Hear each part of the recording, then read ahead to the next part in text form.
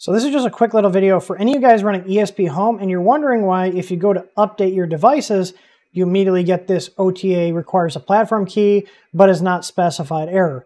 Now this is really easy to fix. All you need to do is add the platform ESPHome, as you can see here, under the OTA section. So I've already updated this device. So if I go into my other device here and I just go in front of the password, enter down, then paste that in, I can hit save and then install.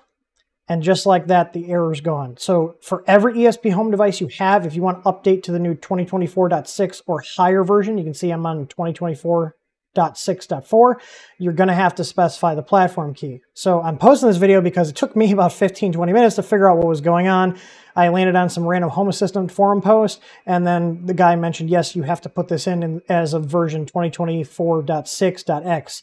So hope this helps you guys out if you have some ESPHome devices that will not let you update because it keeps airing out. And the other thing to note is that if you go directly through the actual ESPHome updater that's built into Home Assistant. Let me move my head out of the way there. There we go. And I try to update from here. It just immediately fails, as you can see here. So I was wondering what's going on because I have been using the built-in updater for ESPHome here for quite a bit.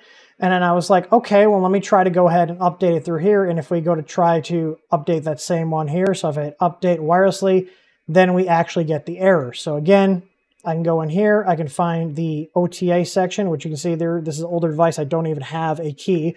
I just have to put platform ESPHome, hit save, install, and just like that it works. So hopefully this will save you guys that use ESPHome some headaches and are wondering why it wasn't actually going through with the update. And this is why, because they changed what's required in the YAML file.